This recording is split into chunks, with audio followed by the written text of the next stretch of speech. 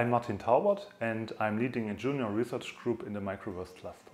I'm actually a biochemist by training, but when I got first insights into microbial ecology, I was really fascinated how microbes can interact there, how one organism is releasing a waste product that is then taken up by another organism, leading to really complex trophic interactions and food networks uh, in the microbial community that are basically playing on a biochemical level.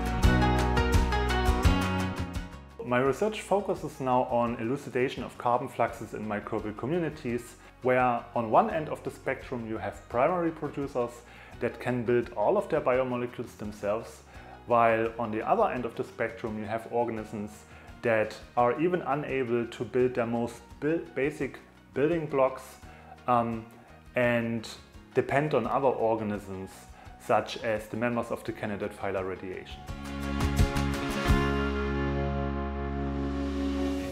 Microverse cluster really offers me great opportunities to collaborate with other researchers. For example, I can now track the activity of individual microorganisms on a single cell level in collaboration with other scientists that provide me with methods like Raman microspectroscopy.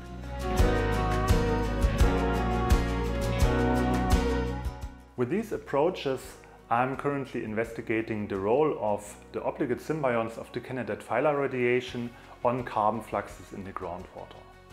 So groundwater is an important resource for drinking water globally and the groundwater microbiome plays a central role in regenerating the groundwater. But we have only just begun to understand the function of the groundwater microbiome and especially the role of the candidate phyla radiation is still unclear although these organisms can make up up to 60% of the groundwater microbiome. Due to their high abundance and their dependence on other organisms, you can imagine that they play a crucial role for the functioning of the uh, groundwater microbiome and the ecosystem services that it provides. And we need to be able to understand this role in order to predict how the groundwater responds to global changes.